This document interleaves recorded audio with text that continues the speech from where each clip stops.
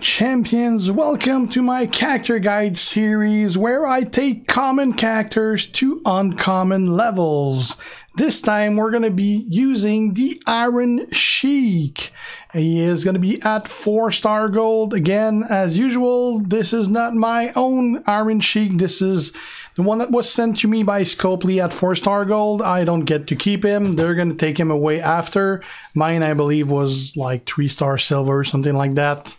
So, he is a legend powerhouse and he has trainer at 5000 so that column break gems do 100% more damage.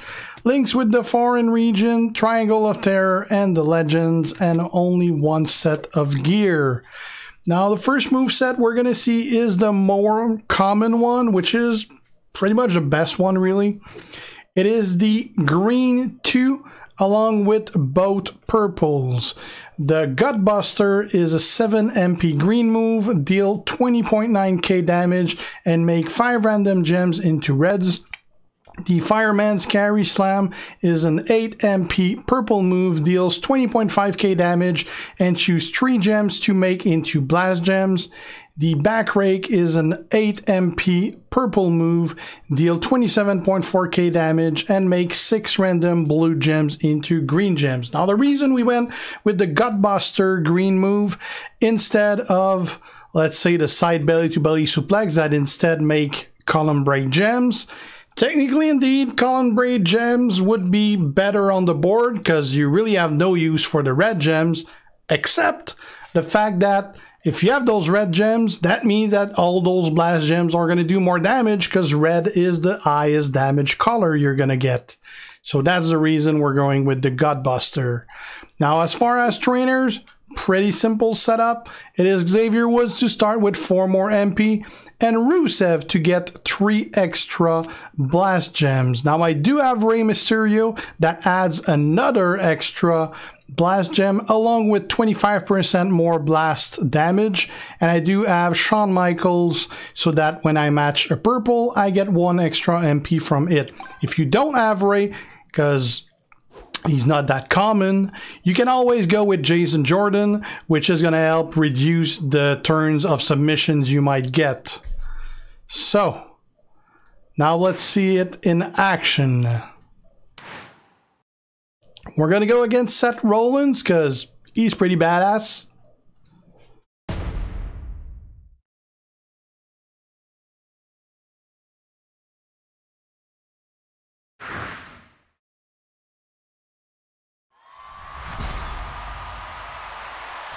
Right. Now, since I got props, my purple moves are ready, but normally I wouldn't have my purple moves ready. So we're gonna use a purple just so we get a legit second turn action. All right, so now I would use this. That'll make some greens.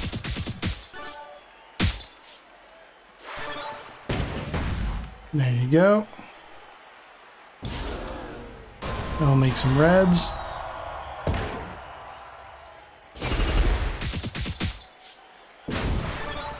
Fortunately, that also ended our turn.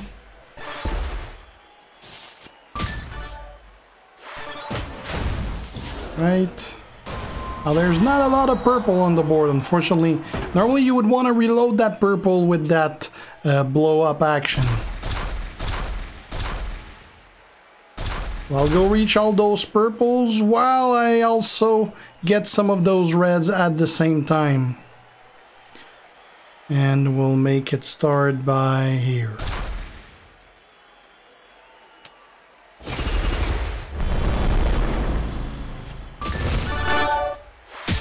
That reloaded the purple and the green.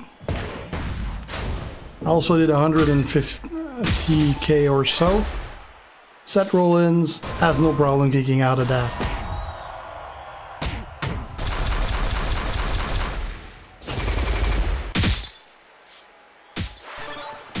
That should leave a mark.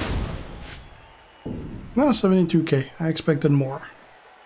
Uh, I don't want to burn too many reds.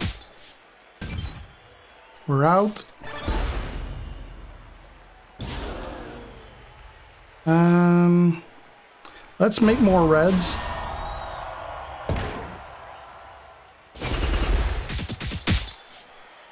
Made more than I wanted to.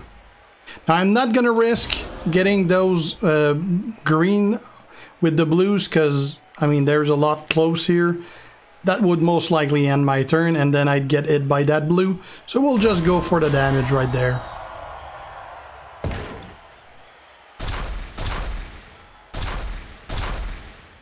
That. This is gonna drop there. There. Let's put one there. I'm pretty much trying to cover the reds. This should get rid of most, if not all the red. All the red. And he's down.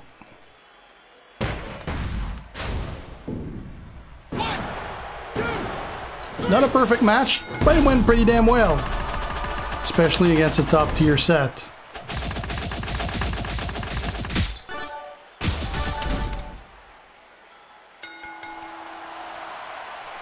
Alright, let's have a look at a different spec. I don't like it nearly as much, but it's also viable, so let's have a look. That's because we have a lot of jealousy in this country. But look at me. Look at me, cameraman. Zoom it. Alright, let's have a look at a different move set.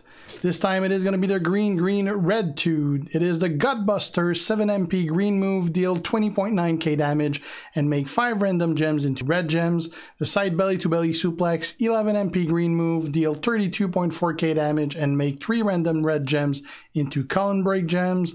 And the backbreaker 11 MP red move, deal 38k damage and destroy 3 random column break gems.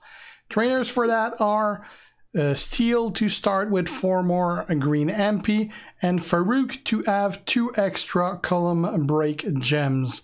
Now, instead of Farouk, Scott Hall NWO is actually a much better trainer because at 9k he, he gives you two extra red gems for the Gutbuster plus one column break gems. But my Scott Hall is not at 9k right now. He's only at 5k. And at 5k, Farouk is better. But they're both options. Uh, coaches, Triple H, pretty good to help with that green. Also got X-Pac to help that with that red because I know who I'm facing. Otherwise, you could be using Jason Jordan to reduce submissions if you were to face one of those.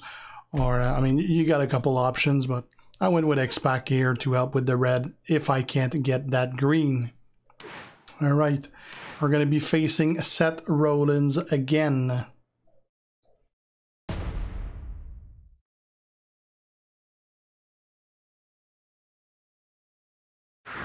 So we're going to be aiming at getting a green match.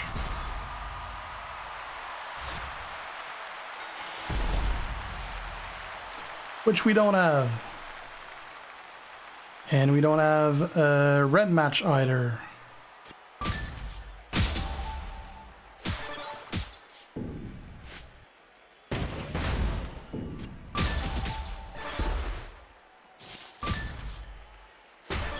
Now, normally I wouldn't have that green move ready, that's why I'm not taking it. I got the perk right now. Now I would definitely have it for the next turn.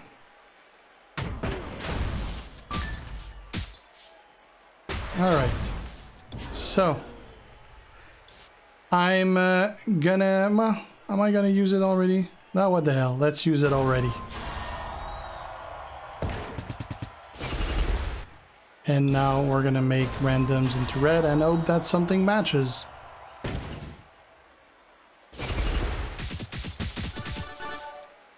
Something did. We got enough to destroy three more.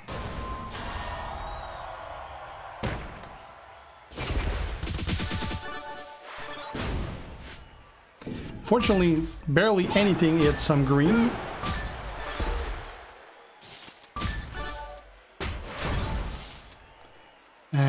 don't have any green to match either. Let's go for red, I guess.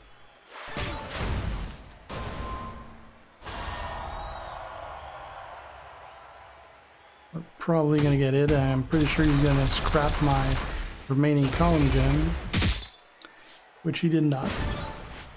Let's get out of that. Um, let's use this one too.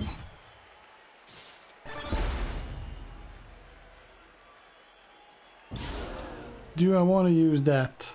No, I don't. like, it, it would end my... Uh, would it end my turn? I'm not sure. I'm gonna risk it.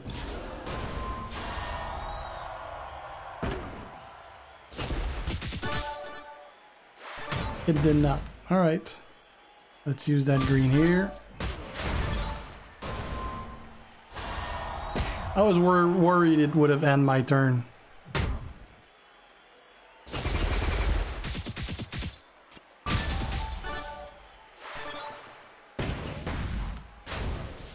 Right. Let's make those column breaks. And let's open some red matches.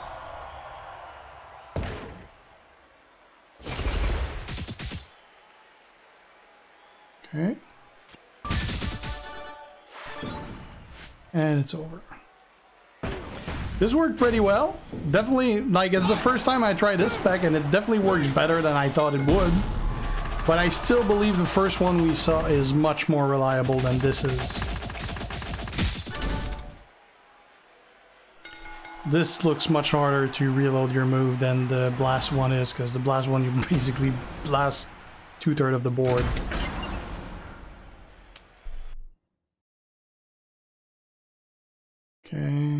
And you're much more likely to have Rusev than you are to have Farouk or Scott Hall also.